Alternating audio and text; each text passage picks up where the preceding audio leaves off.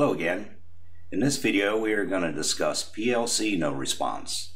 This can be caused by a few different things. The number one reason is cabling, protocol and driver setup, or last but not least addressing. So let's get started. PLC no response. That's never fun. But usually it's a pretty easy fix.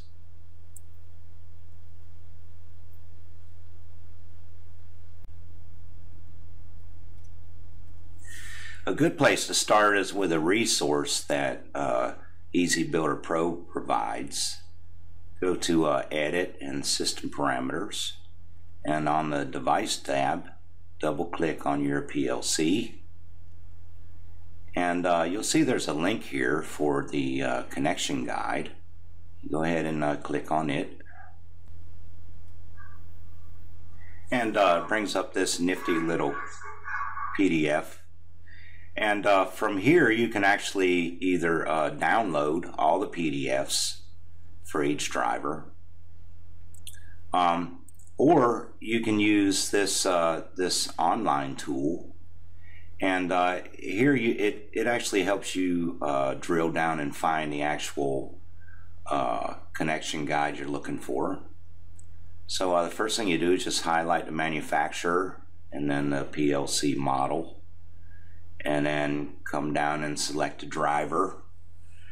Now in this case um, there's only one driver for this model but sometimes there's two depending on the COM protocols and uh, or sometimes all the protocols are within one driver. So you want to just uh, scroll on down and uh, double click on the PDF. Now uh, what you want to do is uh, find the actual model that, that you're using in particular and uh, check the, the cable configuration and double check uh, to make sure that your configuration is the same as as this. Um, you will want to check your PLC manufacturer to make sure that the uh, that the pinout is is the same on the other end. Um, I will tell you this: if uh, if you're doing a a model conversion, converting a project from one model to another, it's always a good idea to uh, to check this first because a lot of the models have different pin or COM port configurations for different protocols. So uh, that's something you want to go ahead and double check for sure. Go ahead and make note of the uh, of the required COM port for the protocol that you're using, and uh, when you uh, go into EasyBuilder Pro, go ahead and double check, make sure that that's set properly. Um, you want to go ahead and, and click uh, settings and check your uh, check your serial settings. Of course, your COM port, uh, your baud rate, your data bits. Uh, make sure your parity is the same, and of course your stop bits. Now you may have an Ethernet connection. Um, if you do, the first thing you want to check is uh, your uh, IP address.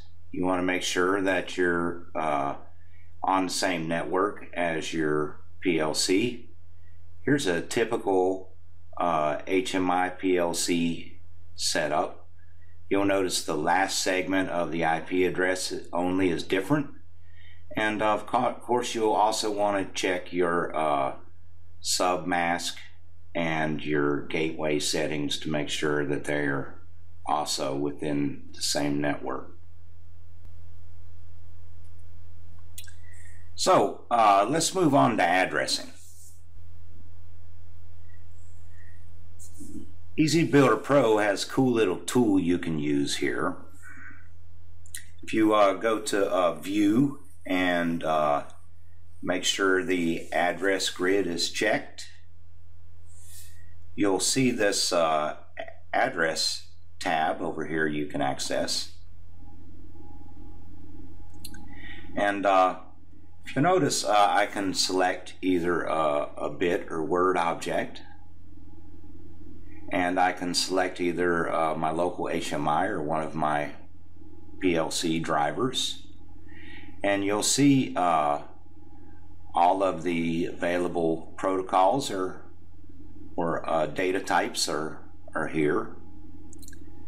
Um, so here in this case, uh, D registers the starting register is D0 and um, you can click on the uh, corresponding uh, register and it will uh, display the data format right here for you. So uh, if you notice anywhere I click, it changes the address.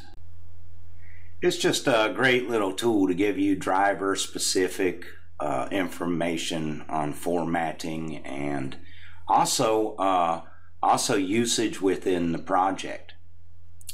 So uh, I'm going to go ahead and add another driver here, um, something maybe more people are familiar with.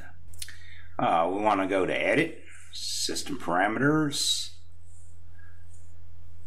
and uh, on our Device tab we want to edit our PLC.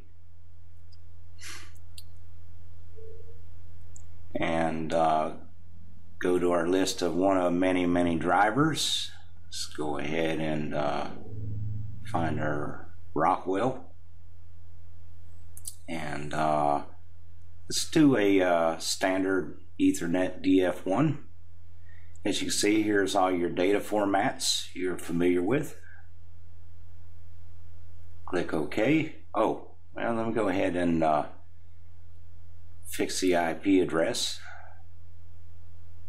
so we don't have a conflict here.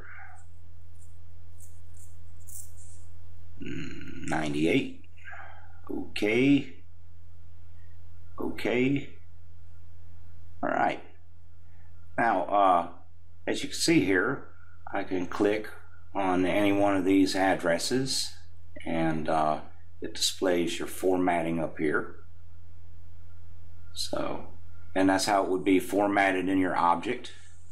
So uh, let me go ahead and edit our object here. And uh, drill down to our N7. You can see it's highlighted in red here. So, uh, just a just a great tool for you to uh, use to make sure you've got your formatting right. So uh, you can always go ahead and double check that. And uh, that way you know you're on track. I will go ahead and give you one more uh, tip that I always use. Uh, if all else fails, go ahead and uh, create another little project um, uh, with only one word or uh, possibly even a, a, bit object. And uh, and go ahead and test it with each driver and see if you have the same issue. And I'll tell you why. Um, there are uh, there's uh, a few different things that can cause the no response other than just your graphic objects uh, you could perhaps have a macro that's doing reads and, and writes, and, uh, and they're possibly addressed incorrectly.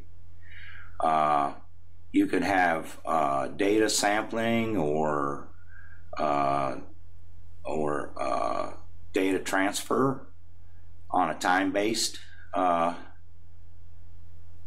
that that's cycling, and if those are incorrect or can't communicate for one of the other reasons, uh, uh, that could uh, that could also give you no response. So that's a good little tip, and uh, usually it'll get you out of a pickle.